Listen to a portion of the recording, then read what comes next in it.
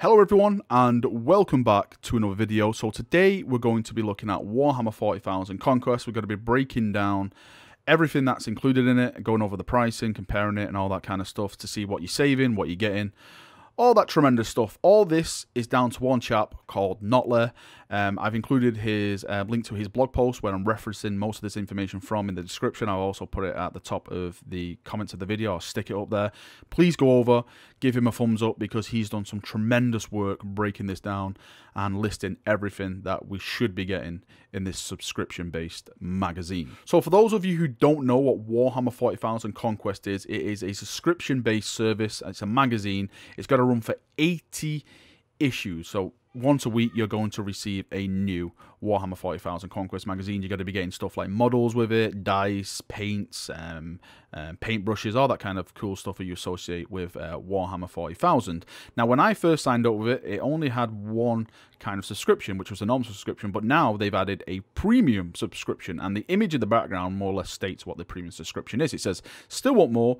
Choose a premium subscription to receive four premium war gear sets to enhance your gameplay, including exclusive fold-out gaming boards, dice, reference cards, and more. And that is for an extra 150 a magazine. So if you went with a standard issue, so if you if you went completely standard and you didn't go um, uh, premium, it's got to cost you around £625 for the entire 80 issues. But if you went premium, then it's got to cost you £745 with uh, you know with all the 80 issues. So that's an increase of 120 pound. Now we don't well he does say what you get gaming boards dice reference cards and more. We don't know what the more is let's say. I don't know if that's going to include certain uh, models which we're going to be going through in a, in a second. Hopefully not because i hate them to be uh, hide certain things behind a paywall. I would like them to add more exclusive models to this because there is already an exclusive model included in this. So hopefully we can get more of that and more like awesome stuff we can only get through through this magazine. I think I think that would be a really good way to sell it to make people subscribe and stuff um, like that. Now let's just jump in and look at the cool stuff. It's it's absolutely amazing what you actually get in this Warhammer 40,000 Conquest. I was kind of surprised with all the stuff. So uh, once again, thank you for Knotley for breaking all this down. This is the Death Guard stuff. We'll start with Death Guard, then we'll go with Adeptus Astartes, and then we'll go and jump in with what scenery you get and stuff like that. So the Death Guard, let's uh, go with them first. So um, according to this image, because this is the image that they released in the trailer, and everyone's breaking down and stuff, Knotley did the best job. 26 Poxwalkers, so um, that's from the Dark Imperium and First Strike. Might be more, they're hard to count. Uh, the Malignant Plague Caster, uh, the Lord of Contagion, the Noxus Blight Bringer, the Photib Bloat Drone, all them are from the Dark Imperium box set. Now, you get Plague Marine Champions, which are £15, which is really, really good. Uh, 12 Chaos Cultists, which is £6 per box, so there's two boxes worth included. The Plague Marine Icon Bearer, which is £15 easy to build Myphitic Blight-Hauler, which is £15, Foul Blight Spawn, which is £15, Scribbus Wretch, uh, the Tallyman, which is £15, Nauseous Rotbone, which is £15, Biologus Putrifier, which is £15. Don't Chaos have the most wonderful names. Chaos Rhino, which is £23.50. Easy to build Felthius and the Tainted Cohort, which is £25. Typhus, which is absolutely amazing on the tabletop. He hurts me so much, which is £25. Two Chaos Spawns and a Plague Burst Crawler, which is £40. So the estimated Death Guard value is £315, 50 pence. That's just for the Death Guard. That's not including the Adeptus Astartes, which we're going to jump into now. So moving on to the most glorious piece people in this absolute magazine is the Adeptus Astartes. You have to go Loyalist or you're doing it wrong and you should be purged, of course. So from the Loyalist standpoint, you're getting three Intercessors, that's from the First Strike, three Reavers from the First Strike, 10 Intercessors, which are from Dark Imperium, 5 Hellblasters, which are included in the Dark Imperium box set, 3 Inceptors, Primaris Captain in, in Gravis Armor, um, 2 Primaris Lieutenants, a Primaris Ancient, Easy to build Aggressors for £20. Easy to build Redemptor Dreadnought, which is £25.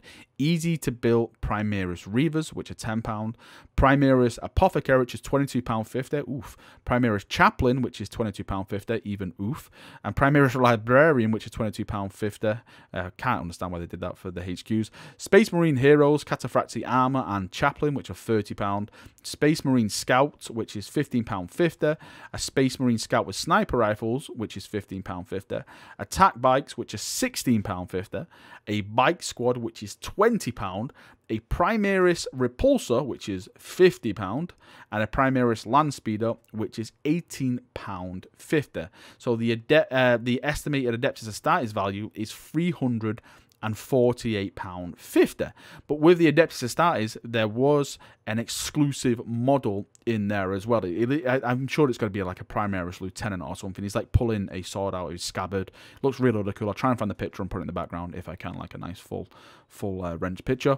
But that looks really, really cool. One of the cool things about the Adeptus Astartes side of this collection is that GW announced that they're going to be doing something where they're going to be making a chapter along with this magazine called the Silver Templars. Now, if you say Templar to me, I think Dorn. So I'm wondering if these chaps are going to be from the Dornian um, gene seed. I don't know if it's going to be a Primaris only chapter. I would think so because you, you find you're finding now that um, all the new chapters which are being uh, made by Guilliman and everything are more or less full of Primaris Marines and stuff like that because apparently they're better. That's another argument for another day, but I'm not going to get into that now. So I'm wondering where they're going to go with this. I me me being a Dornian fanboy, if they do that, and it is Silver Templars, then I think I'm going to start a Silver Templar force. I know I've got my Executioners there, but I'm sure they won't mind if I give some love to some more Sons of Dorn.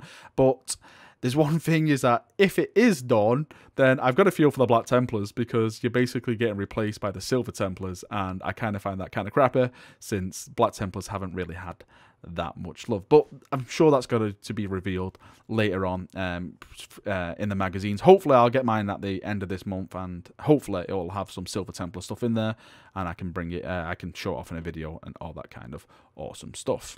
Now, the last bit is the terrain. Of course, you get a ton of terrain in here, and it looks absolutely Schmexer. So you get Sector Imperialis objectives, which are £20, Munitorum armoured containers, which are £30, Sector Mechanicus galvanic servo haulers, which are £25, hard to even pronounce that right, Battlefield accessory set, which is £12, Thermic plasma regulators, which are £15, Haemotrope reactors, which are £25, Thermic plasma conductors, which are £22.50, Galvanic, Magnavanic, or Promethium Forge, uh, which is uh, £45. He says he's not sure which one that is. Uh, the Ryza Pattern Ruins, which is £17.50. So the estimated terrain value is £212. So if you get all the models, if you start from uh, pre um, issue one and you buy um, sorry, you you go all the way to the end to uh, the um, to the last one, which is uh, you know ATA, and let's say you get all these models included in the basic subscription, so that is eight hundred and seventy six pounds worth of models. That means if you have the basic subscription, you're saving two hundred and fifty one pounds worth of your cash buying this magazine. I think one of the really cool things about this is that from the armies that I listed there, from the Death Guard or the Space Marine standpoint, you can basically start an army for either one of those factions. It's kind of crappy that they didn't have any Xenos in there, but it looks like from a marketing standpoint, they're doing it where uh, you know, you can start a Death Guard force or a Space Marine force. That's what they've gone for. So that's why they haven't included like any orcs in there to like to spice up a bit. They want people to collect the full series so they can make a full on armor. Now, if you buy the premium edition and you start from number one all the way to issue 80, then you're saving 131 pounds. So again, these premium boxes which you get in with dice, um, extra, you know, like gaming mats and stuff like that. Um, at the moment, I'm not too sure if it's going to be worth it. Of course, I'm going to buy it anyway because I'm going to be giving the stuff away. But for a basic consumer like yourself, I'm not sure if that'll be worth it you. Hopefully, they'll reveal what that more is, what they said, because I think that could add to the price of that. It's just interesting to see where they go with that. I think if they want people to jump on board with the premium subscription, then they should list absolutely everything you get with that premium subscription, not just say more in the title. So I'm hoping we get some more information about that very, very, very soon. All right, that is me done for another video. So yeah, you're saving some big, big cash if you go into this from, you know, issue one all the way to issue eight. Like I said, I'm definitely going to be jumping on board. I'm going to be buying it. The stuff I don't need, I'm going to be giving away on my channel to you chaps. So if you're probably a Death Guard fan, I'm going to be giving some of the Space Marine stuff away since I've got doubles of that already.